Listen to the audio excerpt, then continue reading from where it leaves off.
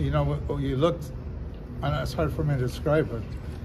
All, all that stuff they say is evidence. You look through it, and there is no evidence against anybody, me or Paul. There wasn't any time, and and just uh, too much made up stuff. That's all I can say. It's and it's too bad that sometimes the system works that way on on on feelings instead of facts. You know.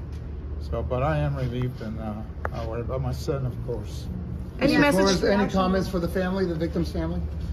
Yeah, I, I feel bad for them because they didn't get no answers about what happened to their daughter. And we don't know what happened to their daughter. So, and I, like I said, I feel sorry for them. What was your reaction when you learned your son was found guilty? I, I don't know. I was just holding on, that's all. Are you in a state of shock? A little bit. Mr. Mesick, this is a big case for you. Is this the biggest case you've won? Or taken on? No, um, but it's the one I've been most um, invested in on a personal level. Um, because as you might remember, what I said at the very beginning in this case, this man is not just not guilty, he's absolutely innocent. And today's verdict proves that. So you can, you can quibble with me on the words there, but um, he never should have been charged. And I'm very pleased with the outcome. Love our system of justice. Jury is what it is. Jury has absolute power to say whatever they want to say. But in this particular case, they said not guilty, and I think that's the right verdict. So. What do you plan to do for the rest of the day? What are you doing next? I don't know. We're going to Disneyland? That's what she's watching. don't know. I don't know. I have no idea. Just, just stop and sit. Any message to the Arroyo Grande community? Well, you know, I'll speak on his behalf here. It would be nice if the community would actually honor the presumption of innocence. If you go online like I do frequently or get the comments um, forwarded to me, like my phone's blowing up right now, there is just so much animosity towards this man, his family. There's so much hate, and I really have never understood it. I understand that people are upset that Kristin is missing. I understand they want a person to be responsible for that, but the uh, just the you know the, the, the, let's lynch him, let's burn him, let's hang him, let's kill him. I don't know where that comes from in this in this uh, country, and I wish the community who still feels that way would uh, disabuse themselves of those feelings.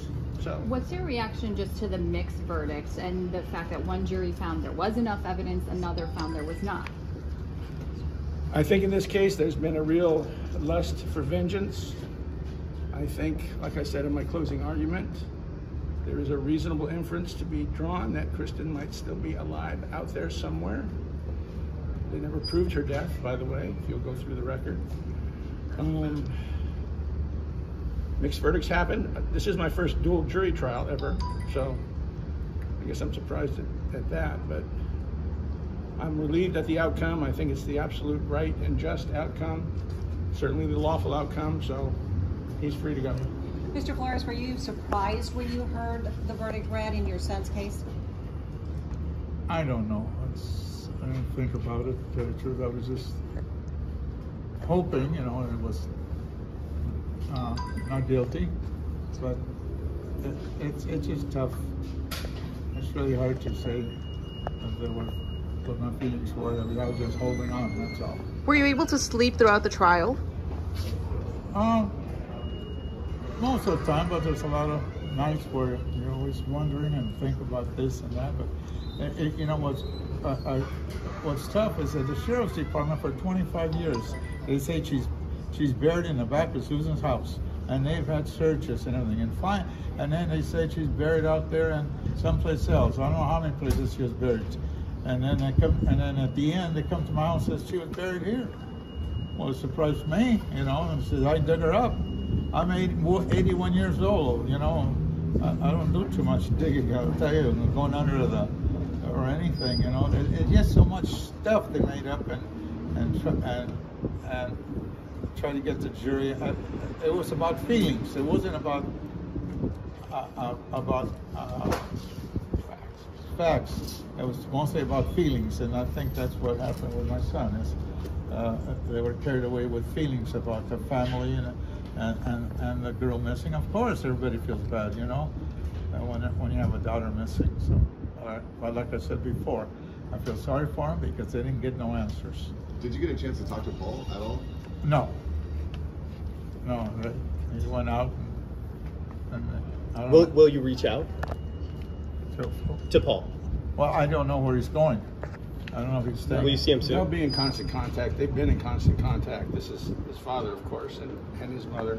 Uh, I wasn't allowed to talk Actually, he to hasn't been. In, his mom's been in con, constant contact. He hasn't been allowed to speak to him because he's codependent. So, Yeah, so. but after after now, he'll be able to speak to his. So how long has it been since you spoke with your son W- last? Well, I said with him next year, you know, we used to talk about football, baseball, but to have a reg- just a plain old uh, year and a half, two years, uh, it was since a year been a ago, year and a April, half. year and a half. He was, a, he was arrested on April 13th, 2021.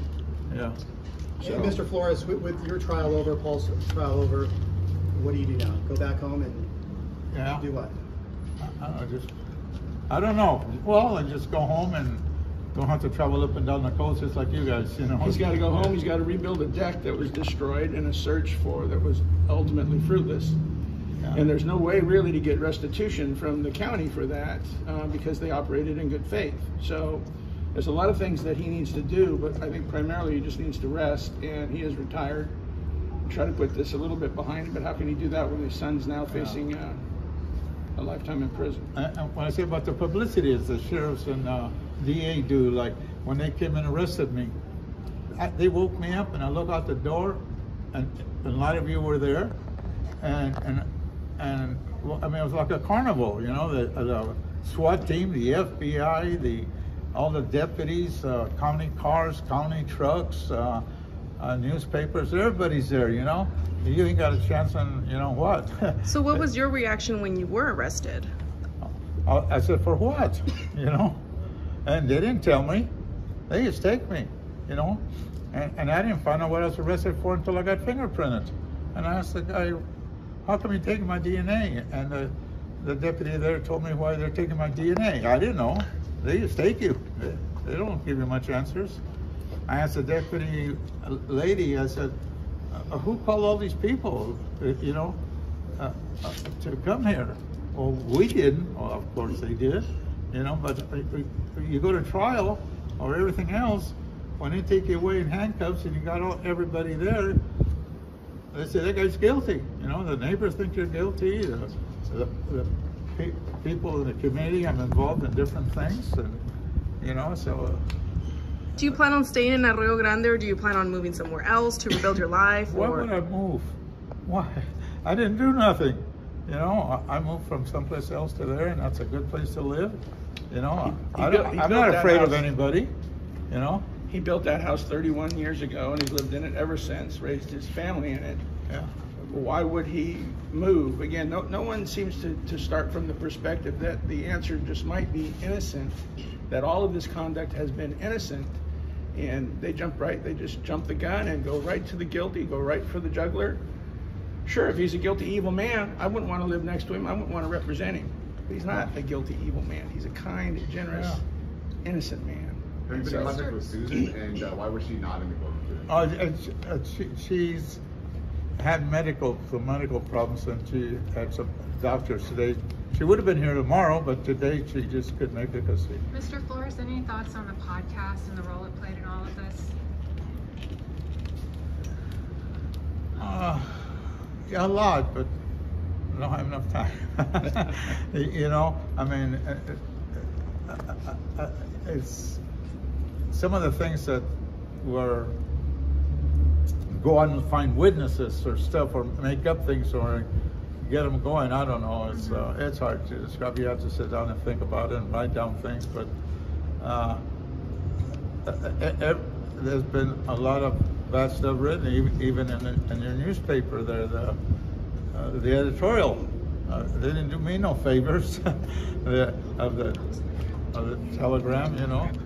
But everybody wants somebody, you know, they want to hang somebody, everybody, you know. So, uh, so like I said, I'm glad it's over, and I'm glad some people that doubted me are, you know, uh, uh, they feel, but I don't see a lot of changes because people didn't get no answers, like I said before. So they still want answers, a lot of people, you know. So, like I say, they're still probably, tomorrow they'll be probably going by Susan Sullivan blowing a horn, or they'll be driving by my house, you know, just people, you know, they they believe everything they read and everything they hear, or, you know. Uh, me, I got a flip phone. I don't listen to that stuff, you know. I don't know anything about what goes on. But the people that are on there every day and, and they just get wound up, wound up, and, you know, they're going to hang somebody, you know. And so, you know, like I said, I, mean, I just hadn't had much time to think about the questions and answers. I wasn't prepared for this. So essentially, you're Do you see processing. your son's attorney filing an appeal? I, I, I, they're talking about it. That's between them. I, I don't know. I haven't talked about anything. I just found out in court, you know. So What has been the most challenging part for you during this time, and how did you overcome it? I just hang in there and don't worry about it. I, I know where I stood. You know, I'm always a good guy. You know, I'm active in community affairs and and, and I always coach kids and, and I've been in Elk here 20 years.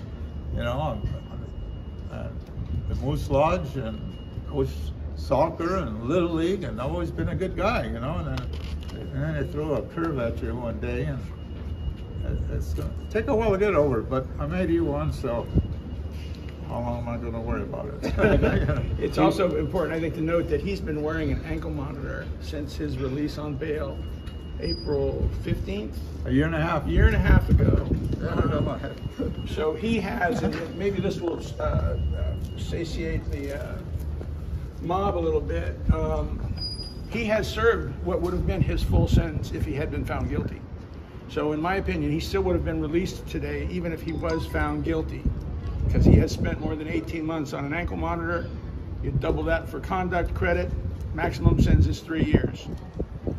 So, this was kind of a anticlimactic, but I'm glad he got the not guilty. Yeah. Have you heard from Susan and, and has, does she know Susan's the got, verdicts? uh, she's a, I'm sure she knows about the verdicts, everybody in the world seems to. Yeah, I haven't had a chance to call her, but Yeah, but we'll talk to her soon. yeah, I'll call her in a minute. And it is very likely that Paul's attorney will uh, file a motion for a new trial. There's several grounds, so you could probably expect that from Mr. Sanger. Is there anything in particular that you think I was don't want really? to comment on that. No, no, no, not on the appeal, but Oh. in your case with the verdict, do you think there? What do you think was the strongest evidence, or what really swayed So- the jury? So, and you, you saw this, and you, a lot of your comment, commentators mentioned this. The funny thing about this case was, for the more serious charges, they had zero, zero physical evidence. They had the dog alert, right, and the coincidence of being the last one maybe to have seen her. Obviously, somebody else saw her after him. In my client's case, they alleged they had biological evidence, and um, if the jury had found that sufficient, they would have found him guilty.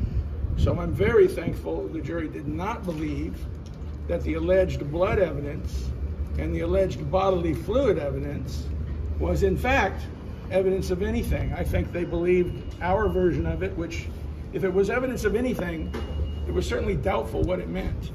And so I'm very pleased that this jury was uh, diligent. They were uh, committed. Uh, they've showed up every day. They, they were fantastic. And I gotta say, I was surprised because telling Ruben this yesterday, when they walked in with the verdict yesterday, they wouldn't look at look at us. So I was really a little nervous about today. Didn't look at us again today, but then they ruled the right way.